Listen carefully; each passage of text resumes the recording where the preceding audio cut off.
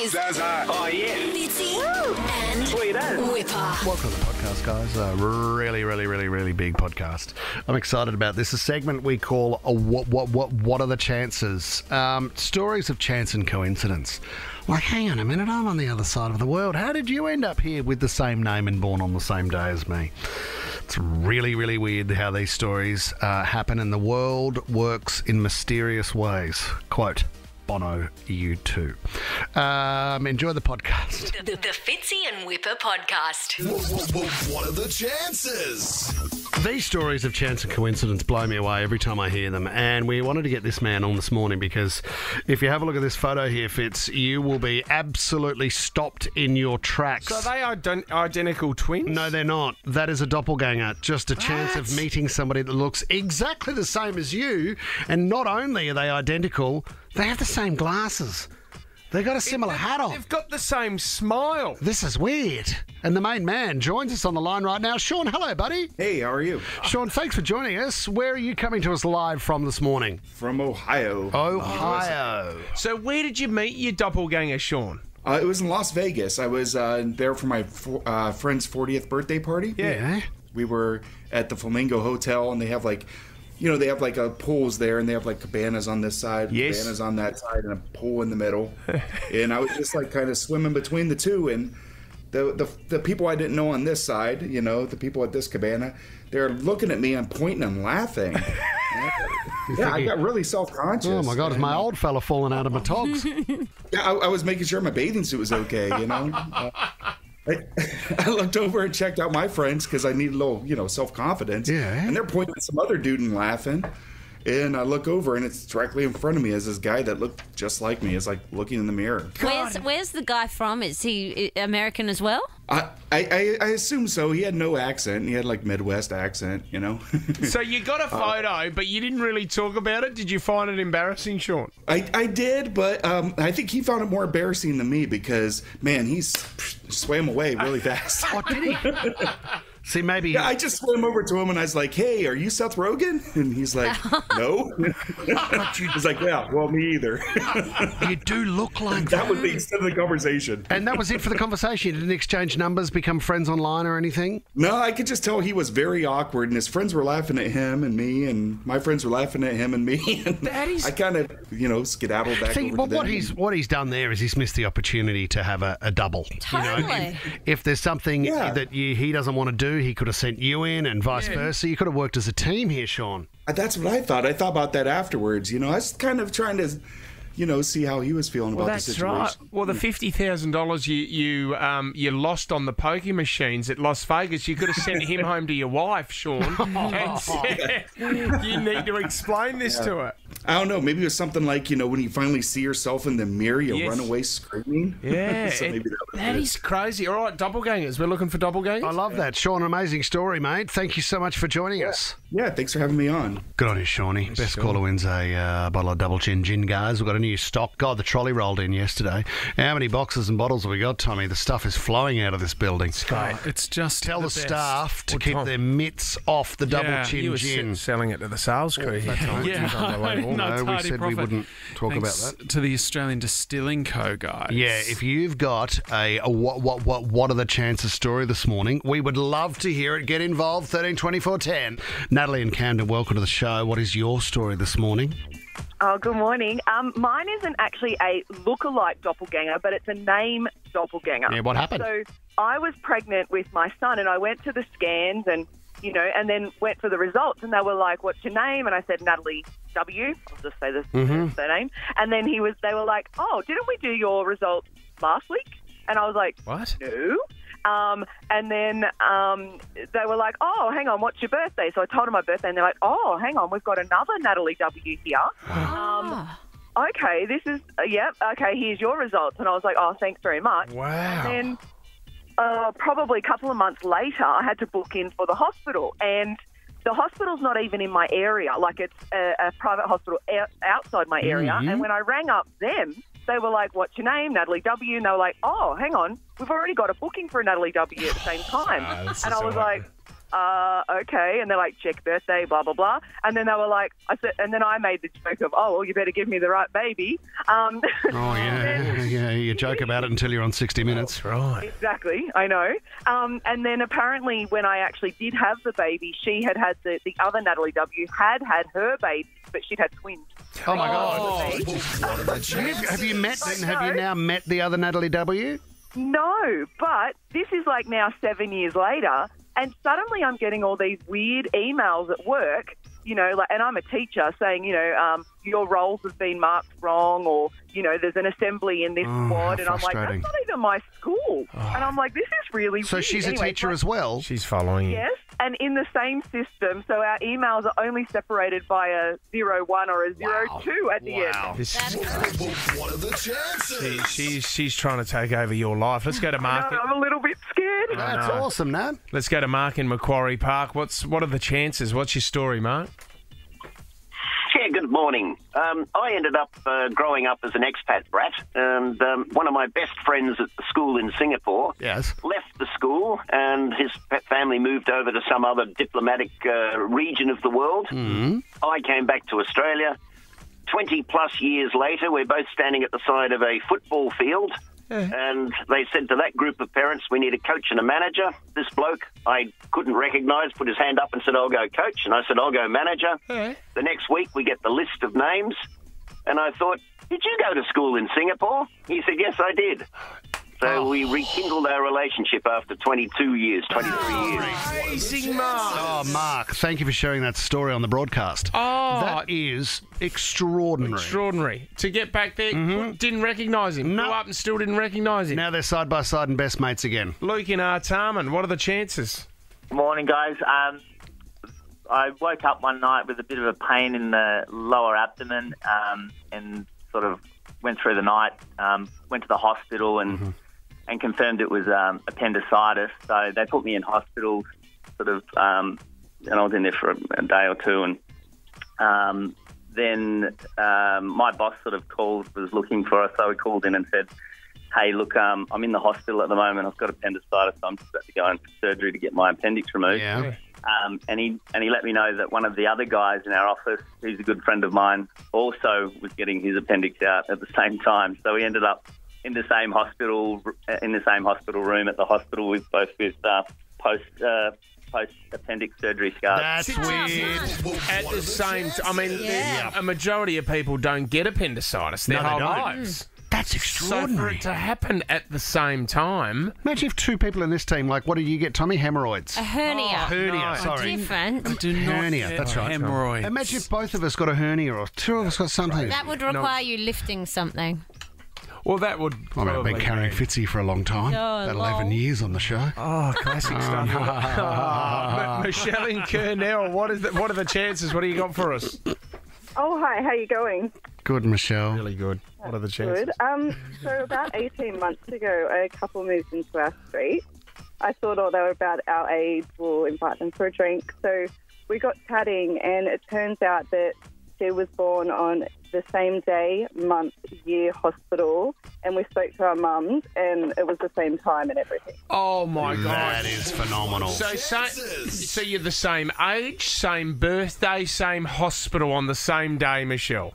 And pretty much the same time. So it was like around five, six o'clock at night. We were both born. That's cool. Happening Extraordinary. at the same time. I mean, do you know what? Uh, We we freak out when we see we we saw um, a dog from the same kennel as Beastie, and I was freaking out. Do you want to call Oh the God, he's from the same litter. They're the same. Do you want to call the show and win a bottle of gin? that is phenomenal, Michelle. Thank you for your call.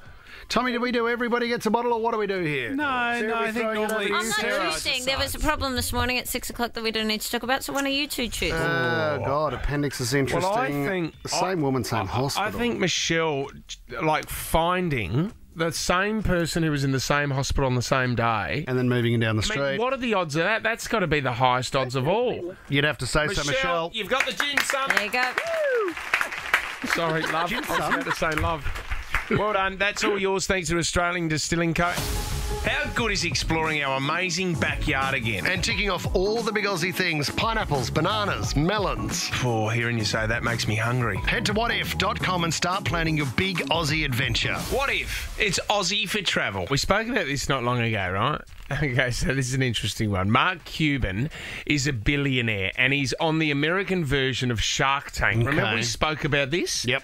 Now, don't get me wrong, the guy is very successful and he's done really, really well. But do you know what? People, you know, the everyday punter loves to hear the losses every now and then. And they don't, you know, when you're a billionaire, it's all about ego. Mm. You're telling everyone how well you're doing with the things that you do really well no, no one's talking about the losses. Exactly right. And we didn't know this about Shark Tank, but you would think that the sharks on Shark Tank would have made a lot of money from that with some of the ideas that you see on the show. Mm-hmm. In a podcast, he said, no, that hasn't happened at all. There was this company that, but you would blow into it and it did alcohol detection. And it was a great idea. And actually a decent product. But like the guy, I look at his Instagram and he'd be in Bora Bora. And then I look at his Oh, Instagram what? two weeks later and he'd be in Vegas partying, you know, then be on Necker Island with Richard Branson. And I I text him like, what are you doing? You're supposed to be working. Oh no, I'm networking. Next thing you know, all the money's gone. He he revealed that he'd lost millions of dollars in investments on the shark, uh, being a shark on a Shark Tank. None of them came off. And he hasn't won at all. And everyone's going, oh, that's really bad. Someone's just recently pointed out this is on the American Shark Tank. Mm. This is back in 2013. There was a product called Doorbot. And this was the guy's pitch to the shark. Introducing the Doorbot, the first ever video doorbell built for the smartphone. The sharks went out one by one. It's really not an internet play, it's a consumer device. I just don't think it's for me. This company, instead of being worth 7 million, can be worth 80 million, 90 million. I just don't see the progression. And for that reason, I'm out. No deal. Mark Cuban was one of those. No deal. Doorbot later rebranded as Ring. Oh, Ring. Amazon bought it for $1 billion in 2018. I was going to say, I've got two of their cameras at home. Wow. How good is that? Ring is awesome. So they, they he had opportunities. You're going to miss some, you're going to nail others.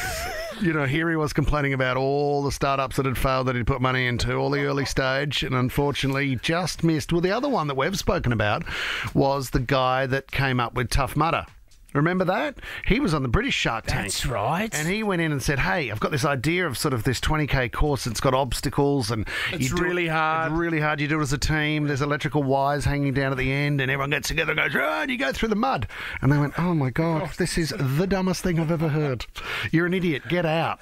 Anyway, it's now in 20 countries across the world, and it's the biggest team building exercise you can do. Yeah. Amazing. It's great. I just love a hit to the ego, though, for mm. those billionaires. Did they mention anything about the MUP? No, all? no. They didn't mention the coffee not- cup with the no, mint? not mentioned at all, mate. It's interesting. Updates. Oh, MUP date. Oh, Thank you. Oh, Yeah, Mupp ah, MUP date is there is no MUP date. The Fitzy and Wippa podcast. G'day, guys. Uh, on a lighter note, um, a bloke by the name of Joe Chapman has just won the World Petrol Pumping Competition. I've never heard of this one. I mean, we s- focused on a couple of ridiculous championships uh, around the world um, on this show. Yesterday, I mean, we were sitting here and on the TV on Channel 7, there was a pie eating competition, which I would like to enter. I think I'd be better at ice cream. I mean, I've attempted dumplings in here when I took on that guy, Joe, I think his name was. He had over 100 dumplings here in the studio. He's a treat. Extraordinary effort. I think he ate the nine. Ki- no, it can't have been nine kilo. How big was that hamburger he ate, which ended up in the paper? Crazy. Could have been 29 kilos. Who knows? So petrol. I I mean, can I just say to everyone as well mm. because I've got the the highlight the, the hybrid. Hybrid. now, the Mitsubishi hybrid. So I haven't filled up my car for ages, and it's actually an awesome Yeah, it'd be- feeling. you don't have it to go to good. the petty station. Like filling up the petrol, filling up your petrol tank is just so boring, It- and it's it's- annoying. It's really mm. annoying, and it feels like this is such an archaic way of doing things. It's like making your bed. You go, hasn't this changed? Like, is this still the same as they were doing 70, 80, 90, 100 years ago? do you look around the petrol station and what other people are doing, or what do you what do you bit, do? A little bit. Probably look at the price going up and up and up, and I sort of aim for 100 litres, and then I see it tick over $200, and I, my heart starts to race a bit. In America, and remember they did a little bit here, but they would have advertising next to the Bowsers, and you Yeah, would the watch tele- you would watch television. They mm. did do them here. That's a smart idea, I thought, but that never really took off. we filmed something once. Yeah, we did. Yeah, and it was like It, the, the, the whole ad, so it was like a small screen on the petrol pump, right? And so it was meant to get your attention. So I think it was you and I, Fitz, going, Hey, Hey, we're in here. It's Fitz and Wippa hiding in the tank. you sure that's diesel? This is unleaded. Yeah, did you know you can get two chockies for a dollar inside? Funny, yeah. All right. Don't think we got paid for that. No, that. it was a promotion of our show. Was we were it? promoting the Fitzy and Wippa show. But there's a few, Hey. a few people were lighting up darts and trying to blow their cars up after watching it. I've never seen so many scra- s- smashed screens in my life. Um, this guy yesterday who took out the championship for the petrol pumping competition, um, there was a couple of different categories. I mean, they had cars lined up, and you had to see how many cars you could fill in a certain time limit. Uh, what I do like about this as well, he says he's ecstatic to have won it. He won eight hundred dollars. Um, you had to show also how to open the petrol flap. So you know how it can be different on many cars, and you see people in a hire car and they just don't know how to get the damn thing open. Then they realise you just have to push it and it'll open. Um, you had to do that as the cars rolled through. Another one they did, which would have been a real challenge and dangerous to the Duco of the car, was the blindfold petrol pump. Oh, gosh. Yeah, so you're just sort of stabbing at the side of the car, Mm. hoping to find a hole. Wow. Um, he managed to complete that and he's had a big win. Um, the other one that's been floating around recently was the Lie Down Championship. Remember that one? So that's where they take somebody to a busy area and it's the best sleeper. So you have to try and fall asleep no matter where, and you don't know where they're going to take you. So it might be they're down to the last three competitors. You're at Bondi Junction. You're in a fast, busy area, and you have to sleep. Done. So you're timed with how long it takes you to get to sleep, and then you need to remain asleep for that 20 minute period. You reckon you could do that, Sis? In a heartbeat. Well, I think I just won. Huh? I just halfway through that break.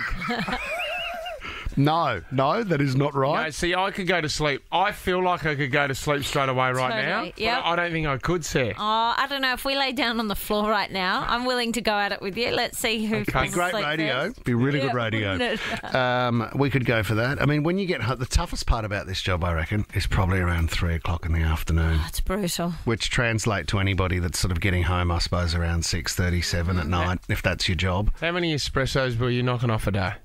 I'm doing five during the show, Christ, that explains Monday. but that explains Monday says, and I've now you pulled were back. Oh, you were flying. I didn't know what was going on. I know. I did not know what was going on. And then you Awesome. were, I, I will say, and then Hmm. you got that anti-inflammatory powder that you got off Wayne Carey, which I thought was just a bit. Well, I was sitting next to him at the casino and I said, My hip's really hurting. And he said, Have a crack at this. Next thing you know, we were booted out. Gosh, I couldn't believe the pain was gone. I couldn't believe, I couldn't feel anything. The Fitzy and Wippa podcast. Lords of Property, it's one of my favourite Instagram accounts of all time. You know, I've spoken about it quite a long time. And, and you know what? These guys, people say that they're in the industry of selling houses. Well, they are not in the industry of selling houses.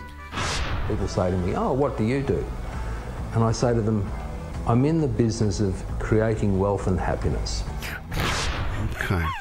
Nothing from Double Bay um, Warren here. No, no, Warren's No, not in there. Double Bay Warren. No, Gavin Rubinstein, he's not in here either.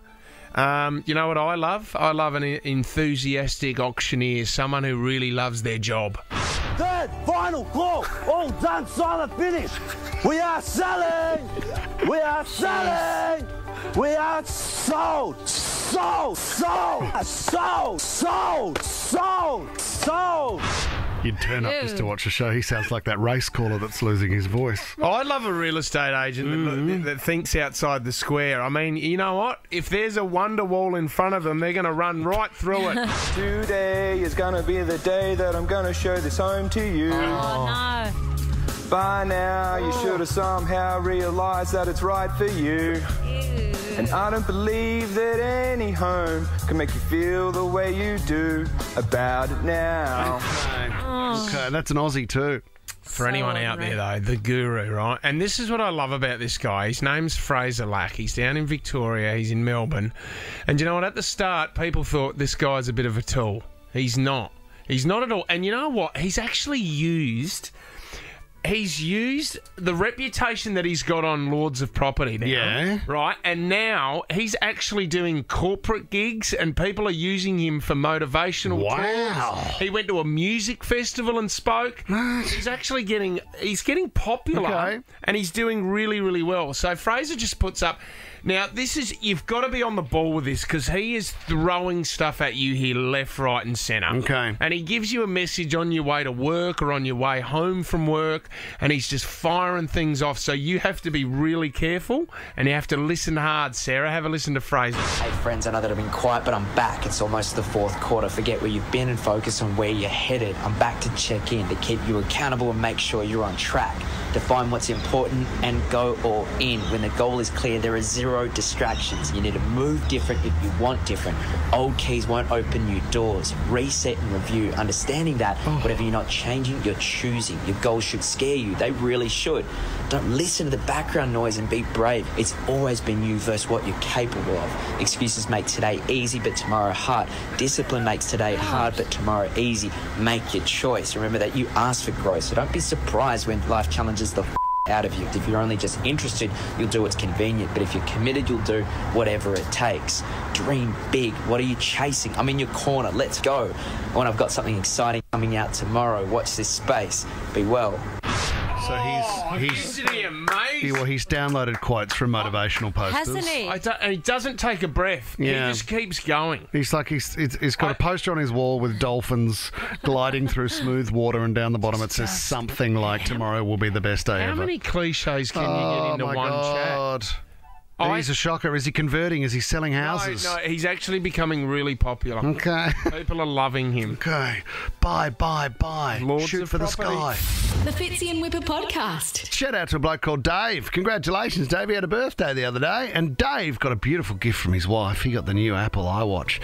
If you don't mind, very generous gift. He'd wanted one for a long time. His wife finally said, Here you go, Dave. Happy birthday, you wild colonial beast. He put it on. This was interesting. He then found out, because it's able to read his heart rate, that it, his heart had stopped more than 100 times in the in the next 48 hours. When he was sleeping. Yep. Or just when he was walking down the road. Any day, any minute of any day in the next 48 hours, 100 times. He just assumed the thing was playing up. Then his wife said, "Why don't you just go and have, go to the doctor? Just go and have a look. Go and talk to the doctor, and the doctor might need to um, have a bit of a look at you." The doctor said, "Yeah." The watch works. Don't fault the watch. It's your heart that doesn't work. Uh, did an MRI scan. Missed five calls from the doctor saying you could have a heart attack any minute. You could have a sudden cardiac death any second. Crazy. Do not move. An ambulance is on the way to where you are. Get yourself to the hospital. They got in there and realised that he had some sort of uh, issue called a block, a heart block, where the electrical current doesn't make it all the way through. Uh, his wife has now come out and said, "Suppose I can have anything from now on in. I've saved your life." Saved your life. Oh, Saved your life. With an Apple Watch. Well, that's like the guy who was cleaning his gutters on his roof and fell off his roof. No one heard him, knocked himself out on the ground. He was gone, and the only thing that saved him was his Apple Watch because his heart rate sort of dropped dramatically when he was knocked out. And they, I, I think there's an uh, there's a feature in it that calls, Yes. calls the ambulance. That's right, because they even know. Because we remember we had a meeting at the Apple headquarters, and they said we even know if somebody is to stage a, a, a stumble or a fall, or if you attempted to act out falling down. It was actually yeah, it was a dramatic drop. Yes, the Apple iWatch can tell the difference between a true fall where you lose consciousness and somebody just stumbling backwards. What and about then if you just took it off though? Then your heart rate goes. well, your heart rate's gone. Yeah, they know you're not wearing it. But it, you There's can no recognise there's the no- movement. It knows that it's not the the watch is just stationary. Yeah. The, oth- the other time, and uh, Macca in the system there, go nine one one woman stuck. The Apple Watch saved a woman who went to a twenty four hour gym overnight at midnight. Hmm. She got stuck upside down trying to do a chin up where she had lodged her legs. Couldn't get out. No one else at the gym. Couldn't couldn't move at all. Hmm. Had to use her Apple Watch to call nine one one. Oh, that is great. If it's in the system, because I think too, when you hit the ground like that, right? If you fall backwards, I think when you're then on the ground for could be four or five seconds, then emergency services are called. Yeah, right. This is the lady calling 911. I'm I'm stuck in this reverse, like, back decompression thing. This is so embarrassing.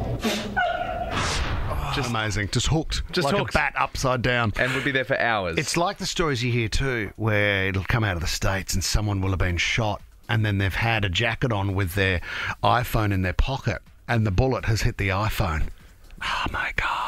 Because the iPhone has a Never bullet. heard that. Haven't you? No. Because the iPhone has a bullet magnetic um, uh, attraction function, says. It's an app. So,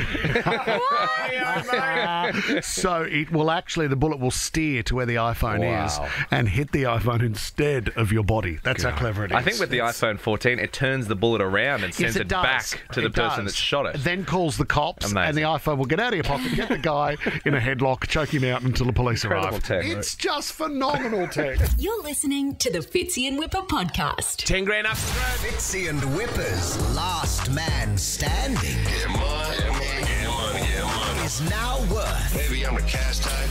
10 K. Let's go to the carryover champ right now. We're talking Taco Tuesdays. Megan in Camden. Uh, do you, Hi. are you thumbs up, thumbs down for Taco Tuesdays? Oh, I'm definitely thumbs up. My husband hates them though, and he thinks the soft ones are just a glorified wrap. Oh, ah, they're the, Oh, mate, the they don't best. make any sense, Megan, but that's not the issue today because you're doing well. You are our reigning champ. If you can hang on till Friday and win, there's $10,000 in your pocket, Megan. Oh, I hope so. Good luck. You're up against Kim in Caringbah. You've got a strategy for Taco Night, Kimmy. I do, I do actually wanted to share it with you all. Yeah, what is mm-hmm. it? Well, what you do, so in order to ensure you have no mess, you do a flour like tortilla first. Yep. Then you put your corn hard one in the middle, stack it all up, wrap the soft one over the hard one, ensure no mess. Oh, mm, Jeez, okay. integrate the soft with the hard shell. Who that would've is a thought? great idea, Timmy. And you get that great corn flavour as well. Oh, Well, great. That is really good. well done, Kim. That is so good. Okay. You've got to try it. Good luck Okay, today, we're going to try that one. All right. 10 grand's up for grabs. You've got to get through to Friday. Someone will win that cash. Whoever loses today gets $500 to spend at Urban Swan. It's the ultimate date night. It's ranged from food, wellness, adventure experiences. Megan, you are going first. If you get one wrong, power goes over to Kim. Whoever has the power at the end of 60 seconds goes through as the carryover champ. Megan, your 60 seconds starts now. A cat is said to have how many lives? Nine. Correct. Directioners are the fan base for which pop band? Uh, pass. It's One Direction, Megan. Over to Kimmy. Kimmy, in Australia, how old do you have to be to vote? 18. That is correct. In the 1999 film, what is the r- first rule of the Fight Club? Oh, pass. You don't talk about the Fight Club. Back to Megan. In which sport might you hear the words bogey, eagle, and birdie? Golf. Yes. Tracy Grimshaw is leaving a current affair after how many years as its host? 100. No, 17. Over to Kim. Kim, Harry Styles and Florence Pugh are starring in what upcoming film? Harry's life. No, da- don't worry, darling. Back to Megan. In what year was Uber created, Megan? Um, 918. No, 2009. Kim, over to you. John Pemberton invented which popular soft drink? Oh man, Kim, you've won it. But I tell you what, that was a tough round. There's no Really other way to put it. Degree of difficulty, 10. Oh my gosh. Wow. So Tracy c- hosted a current affair for 17 years. Harry Styles, Florence Pugh are in the movie Don't Worry, Darling. Oh my God. And John Pemberton invented Coca Cola. Kim, you are through. Megan, well done. You've done so well over the last three days. Thank you. You got- Sorry, Megan. The Fitzy and Wippa podcast. Guys, can I talk about Tuesday nights? Um, there's something we do regularly, and I don't know who started this, but last night I messaged a mate who wanted a phone call, and I sent him a photo of what was going on at my place. He sent one back going, We're doing the same. This is out of control. It's Taco Tuesday. Um, tacos, I've never been a fan of, and I would suggest in my book, the most overrated offering when it comes to food Oh my gosh, are you that? I've ever come across. Are you going crunchy shell or soft shell? Great point, Sarah, Because because I crunchy would is like just to. messy. You've got three kids, and this was my night last night. Lisa says, Oh, by the way, we're having tacos for dinner. She knows I don't like tacos for the point that one, they're so messy, and secondly, um, I don't think they taste great. So then she says, I've taken the meat out of the freezer. It's in the sink. I'm heading off at 5.30. So she spends the half an hour prior to dinner upstairs getting ready before she walks out of the house. Oh, she's going to meet Hernandez. She was. Uh, she's going to meet her some real Mexican her, cuisine. her true lover. Says you bring up the hard shell, right? Mm. So the hard shell is messy, right? So the hard shell was the original shell. Yeah, as kids, it just never held Well, of the course it taco, doesn't and you hold. would squeeze it, and the whole thing would it's- fall of out course it doesn't it's, hold. It's not the original. So- it's actually soft. The, the, the soft. So why would Ta- ta- tacos are soft? tacos are soft, Supposed are to they? be, Yeah. Burritos and quesadillas were soft, but tacos were supposed to be the hard shell. So- type. Fajita. and fajitas. So you go from uh, a soft Mm. to the hard, right? Both are messy. One is a wrap, really. One is a small wrap. And then call it what you want.